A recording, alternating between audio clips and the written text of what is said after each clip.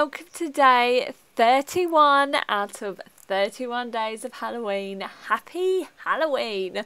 I hope you have a absolutely amazing day, night, weekend coming up. Like just have an amazing time. But getting into this look, I uploaded this one on Halloween because I thought it was my most creepiest. Let me know what you think.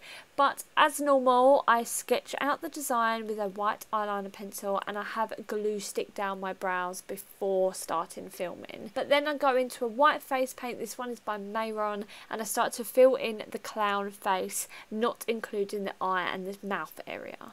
Now going down to the mouth area, I use the Colourpop Precision Brow Pencil in the shade Bangin' Brunette and sketch out the teeth of this area and then I start to paint the white face paint around the teeth. Then using a yellow Snazaroo face paint, I fill in one of the eyes. And then I go over that with the yellow eyeshadow in the London Copyright Playhouse palette. Then with the P. Louise base in the shade Zero, I go over the open area on the other eye and I go over that with a pink face paint by Snazaroo. This clown has quite a sketched out feel to it. It's very like cartoony, sketched out vibe. So what I do is get a black face paint and outline the two eye sections and make it very graphic-y and sketched out like. I quickly fill in my nose with a red face paint and then I start to create some kind of texture to the skin and just detail in with a black face paint by drawing some wrinkles around the face. So I start off with the forehead wrinkles, frown wrinkles, then the crow's feet and just different lines all around the face just to give it a little bit more animation. For the shading and shadowing in this look, I go into the Lunatick Cosmetics Labs contour palette and use the grey tones in that palette. I apply some shading around the lines that I have already drawn just to emphasise them that little bit more. To make the nose go with the rest of the style of the face, I start to create some black lines and also some white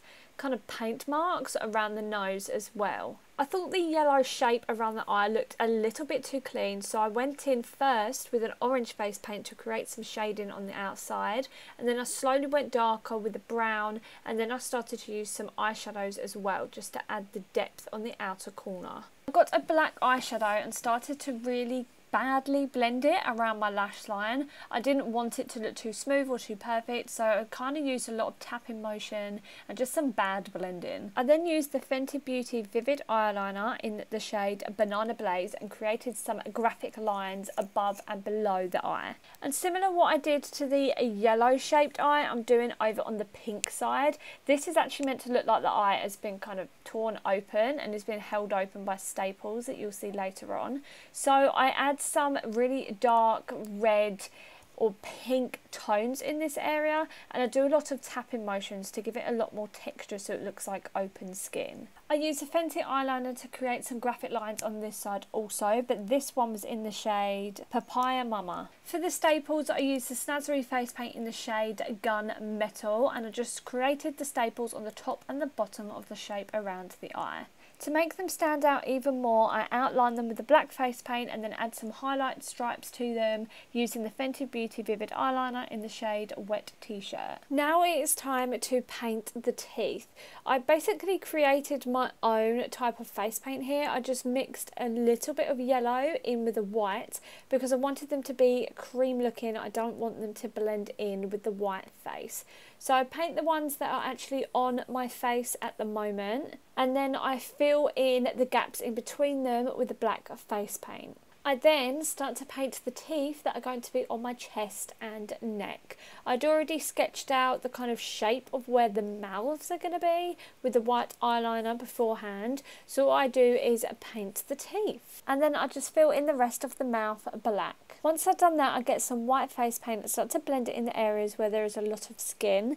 Looking back if I redid this I'd probably painted this whole area white before doing the mouth but we're here now. I then decided I think the teeth were just a little bit too pearly white so I went in with a yellow and a brown and just made them look a little bit more dirty. With a brown eyeshadow I went in and just shaded around all of the mouth areas that I have on my body. To make me look a little bit more of a killer clown, I got a red face paint and added some red blood stains to every single tooth. Using a black face paint, I outlined every single mouth that is on my body. Lastly, I put on my wig and I turn it into pigtails. I did have bows and pipe cleaners, but then I got rid of the bows and just stuck with the pipe cleaners.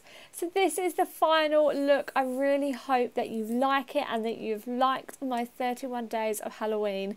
If I don't seem as preppy in this video in my voiceover, I am so tired. This has honestly killed me this year, but it has honestly been the most amazing 31 days of Halloween that I have done. The response from you all has been incredible. I did not even dream to see the numbers that I have done over this month. It's been insane, especially TikTok. I literally joined it the 1st of October and one of my videos nearly has a million views. It is actually mind blowing. And also, I've worked with some incredible brands over on my Instagram. I'm so grateful for all of them. And yeah, I, it's just been amazing. I'm literally on cloud nine, but I'm sleeping on cloud nine because I'm tired.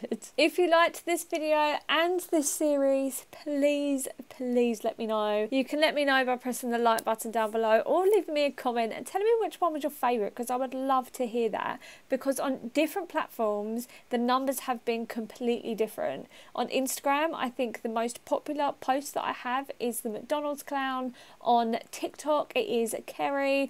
They're just different on every platform I've posted it on. So I would love to see what your personal favourite was this year. If you haven't already, please consider subscribing to me over here on YouTube. Halloween may be over, but I have some incredible ideas for November, if I do say so myself. And I will also be doing 25 days of Christmas in December. So if you're interested in that as well, please press the subscribe button so I can see you again. And also consider following following me over on Instagram because I have a lot going on over there as well. It is literally incredible. I think I nearly have 50,000 of you. By the time this video goes up, I might actually have hit 50,000, which will actually be ridiculous. Like, I can't even comprehend it. But if you want to follow me over there as well, my name is at brooke.ellis underscore. It's linked in the description down below, along with some coupon codes for you. Please don't forget to use them if you want to. I have some for eyelashes, makeup, photography, contact lenses, all different different types of brands down there, so make sure you go check them out if you want to.